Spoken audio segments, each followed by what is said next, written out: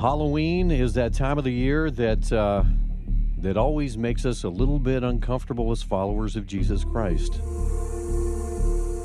And again, we've been talking about a lot of stuff this week, and uh, we need to. I mean, it's not always fun.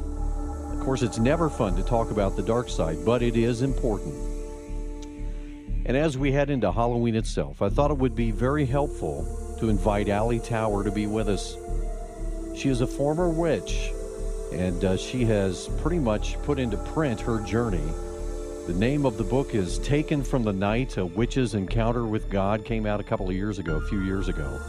She's got a new one out called From the Craft to Christ. I think you're going to find this conversation very enlightening, and I'm so glad that Ally has agreed to be with us live on the phone. Ally, welcome to uh, the program. Good to have you with us.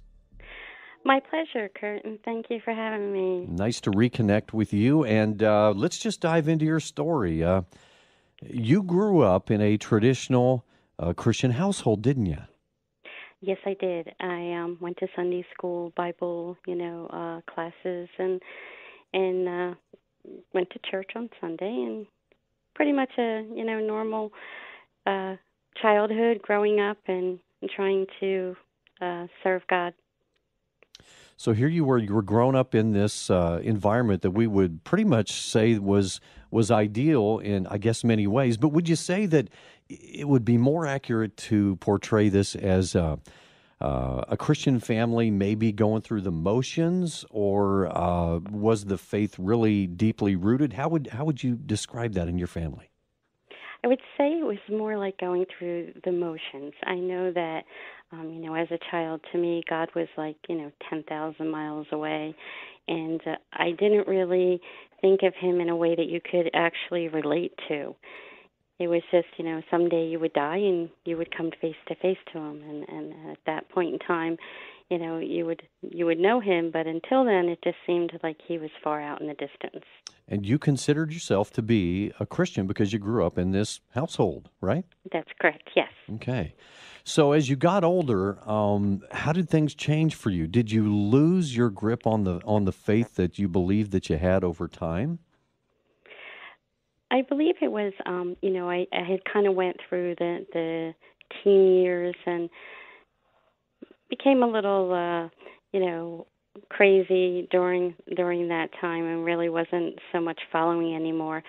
But I kind of came back around to a relationship with uh, Jesus right around the time um, before I got married, about a year before, a year or so before I got married, and came into a actual personal relationship. And you know, at that point, I was born again and trying to serve Jesus and just wanted to basically, um, you know, glorify God in my life in every way. Mm-hmm. So you were on fire for the Lord at that point, but in in terms of your marriage, it, it became very difficult, didn't it?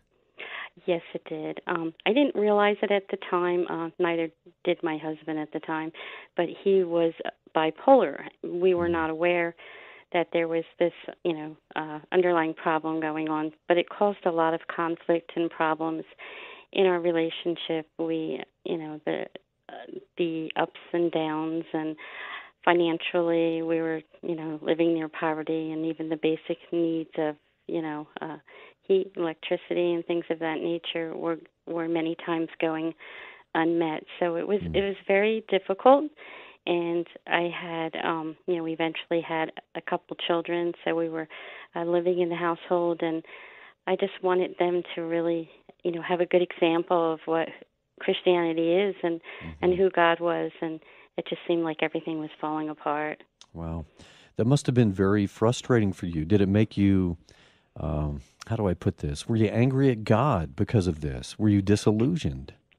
Yeah, I w- you know I wouldn't say at the time.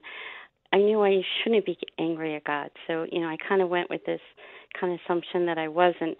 But by looking back on it now, you know, I can say that yes, I was I was definitely angry because all I wanted was, you know, him to be glorified. I wanted just everything for uh God's kingdom to be, you know, displayed in my life and here it was just you know everything against it really mm. so it was it was very frustrating it was very upsetting to me And I came to a point where I just felt that, you know, I had cried and prayed and, you know, fasted and we went to counseling and it just seemed like nothing was working and it just kept getting worse and worse and worse. So I came to a point where I felt that God had abandoned me.